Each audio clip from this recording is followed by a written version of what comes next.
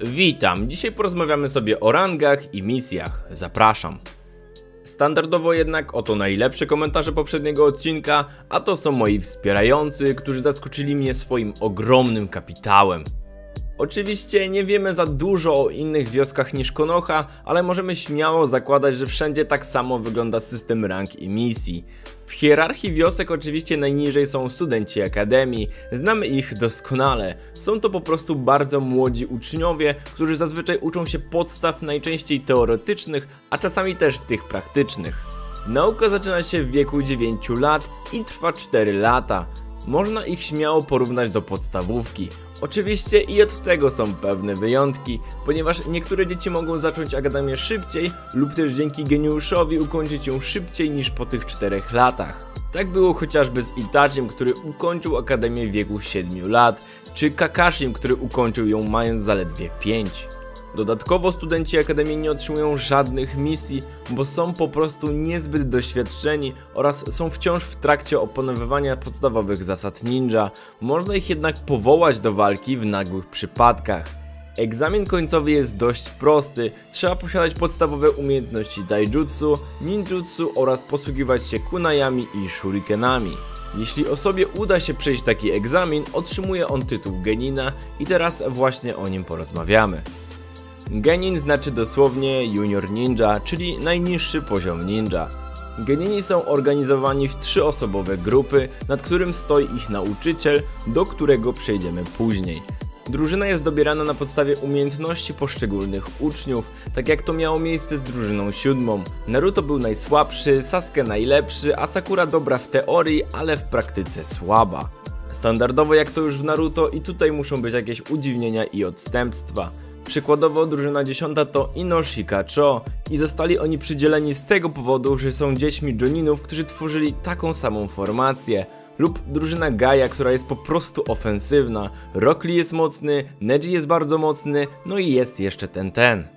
Genin dostaje również opaskę z symbolem danej wioski i większość myśli, że kolor ma tu jakieś znaczenie, a to nie jest prawda. Po prostu kolor niebieski jest najbardziej popularny, a później czarny, ale tak naprawdę mógłby być też czerwony.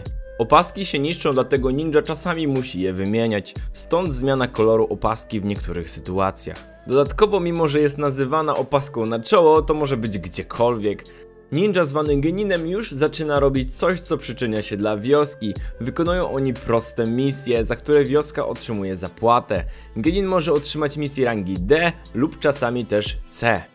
W sytuacjach wyjątkowych mógł też dostać wyższą rangę misji, jak na przykład po inwazji Orochimaru, gdy wioska musiała szybko stanąć na nogi. Osobiście porównałbym geninów do gimnazjalistów, a dla dzisiejszego pokolenia to będą klasy powiedzmy 7-8. Już wtedy można zacząć jakoś sobie dorabiać, czy zacząć odkrywać w czym jest się dobrym. Przy okazji będziemy tłumaczyć misje, które poszczególne rangi mogą wykonywać. Także misje rangi D polegają na najprostszych czynnościach, takich jak pielenie ogrodu, szukanie zgubionych zwierząt czy sprzątaniu. Nie ma w nich nic ekscytującego, ale w ten sposób genini przyczynią się do wzmocnienia swojej wioski oraz uczą się ze sobą współpracować. Za misję rangi D płacone jest od 5 do 50 tysięcy Rio. Dla jasności kurs Rio to mniej więcej 1 Rio do 10 jenów. Przeliczając na złotówki, to za taką misję można zgarnąć około 2 do 20 tysięcy złotych. Nieźle jak na znalezienie kota. Misje rangi C są już nieco atrakcyjniejsze. Tak jak już mówiłem, raczej Genin dostaje takie misje rzadko, a są one przeznaczone dla kolejnej rangi, Chunin. Natomiast polegają one na swego rodzaju ochranianiu czegoś lub polowaniu na dzikie zwierzęta.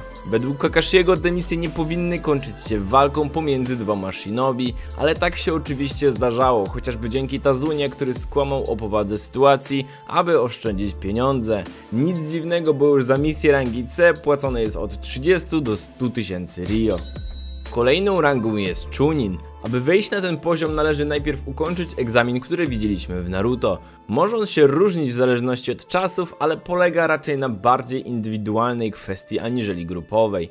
W przypadku czasów Naruto polegało to na zdaniu testu teoretycznego, walce grupowej o zwoje w Lesie Śmierci, a następne etapy to już walki indywidualne pomiędzy dwoma przeciwnikami. Co ciekawe, wygrana nie gwarantuje awansu, a przegrana kompletnie jej nie neguje.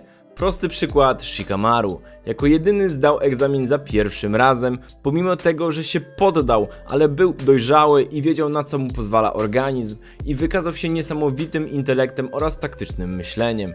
Po awansie taki ninja otrzymuje specjalną kurtkę, która nie jest obowiązkowa oraz jest to już jakiś status, Mogą oni już w tym momencie dowodzić grupami wykonującymi misje rangi C i B oraz mogą też zostać nauczycielami w akademii, tak jak Iruka. Szczerze mówiąc porównałbym Chuninów do kogoś ze szkoły średniej. Taki człowiek już wkracza w dorosłe życie, może dawać już jakieś korki najmłodszym i tym podobnie.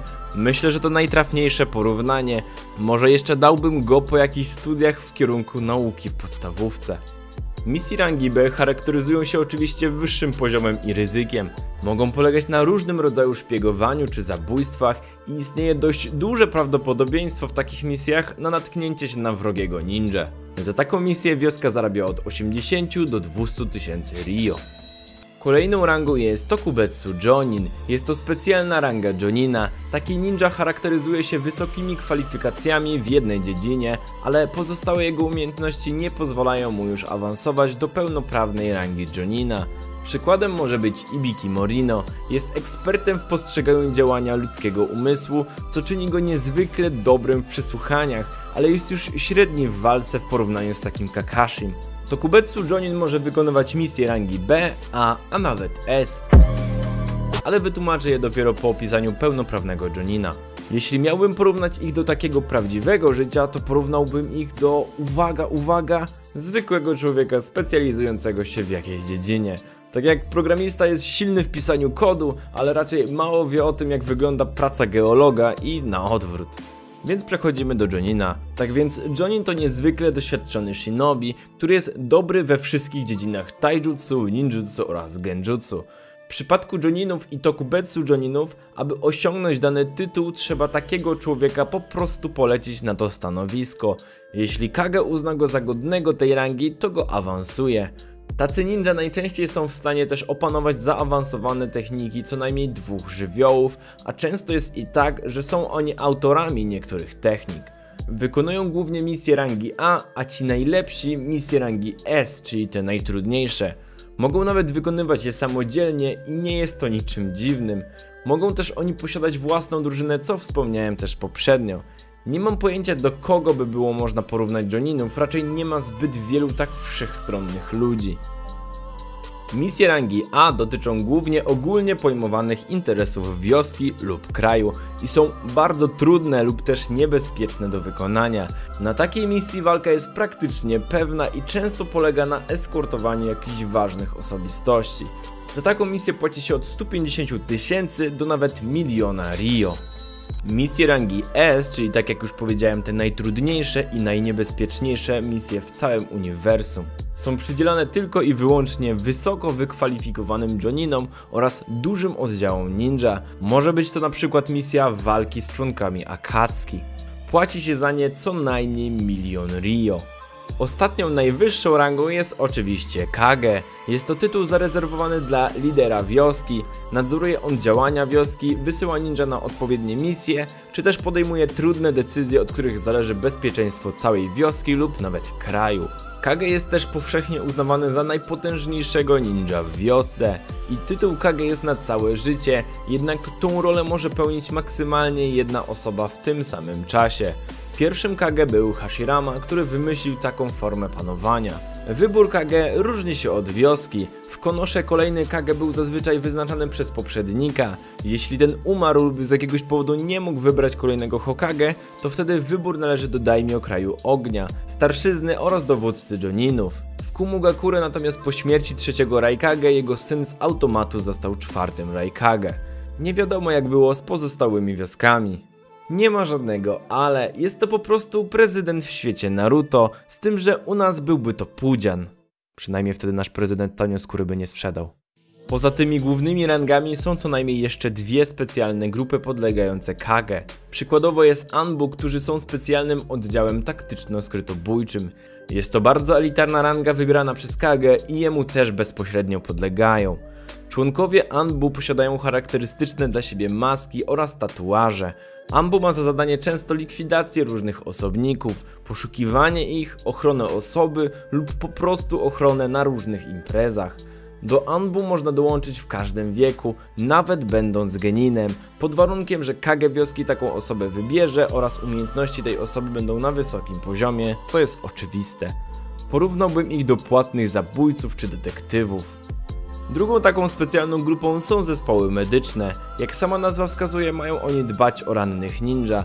Może się wydawać, że ich znaczenie nie jest zbyt duże, tym bardziej, że nie są zbyt często pokazywani, a tutaj nic bardziej mylnego. Są bardzo szanowani wśród ludzi zamieszkujących wioskę, a nawet często dla Joninów różnej maści ich znajomość ludzkiego ciała i umiejętności wydają się czymś dla nich niepojmowalnym. I to by było na tyle w tym filmiku. Wyszedł tak naprawdę bardzo obszerny, a tego się nie spodziewałem. Oczywiście odstępstw od tego co mówiłem może być bardzo dużo. Po prostu to zasady, które kiedyś gdzieś tam w anime zostały przedstawione, a tego czy ich się później trzymano to już inna sprawa. Nie zapomnijcie lajkować, dać łapkę w górę i polubić ten filmik. Widzimy się jak co tydzień w niedzielę o 12. Cześć!